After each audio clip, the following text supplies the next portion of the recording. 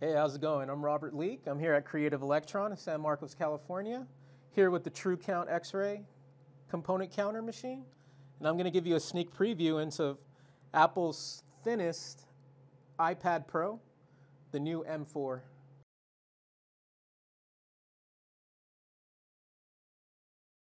So let's, let's take a look here.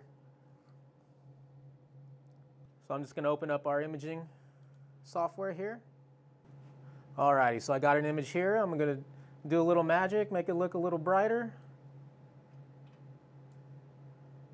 Alrighty, so we got a better looking image right here. So really cool. Apple really came out with a really top tier new device. Couple new changes this time around. And maybe mainly the biggest thing I want to start on would have to be the new M4 chip. Uh, it shows up here, this big square on the center of the PCB. Uh, so you can see here, this is where the magic happens. This is where all the power management and all the stuff you're able to achieve with this new iPad Pro. Super cool stuff. And then probably because of, you know, all that great new power in that chip, you know, you even have a smaller battery, these big blocks here. One thing the Apple iPad Pros known for is their crisp, clean, smooth sound. And that's brought, brought to us with these four speakers here, being able to deliver that sound no matter like the orientation of the iPad.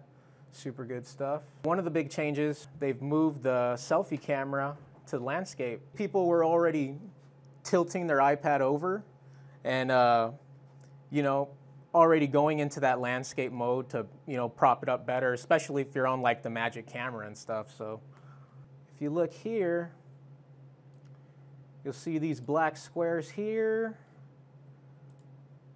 and even down here. These are magnets, and those magnets will you know connect to the Magic keyboard, or in this specific spot here, this will be like your docking station for the new uh, Apple Pencil Pro. The magnets are a really dense material. So anytime you have like lead or really dense materials that are gonna, they're gonna absorb the x-rays more than pass through and give us that image. So yeah, looking here, I could see these big rectangles. These are the batteries right here. So yeah, really neat. Uh, these are around 3,800, 3,900 milliamp an hour. Much, a little bit smaller than the old iPads, which had around a 4,300 milliamp an hour.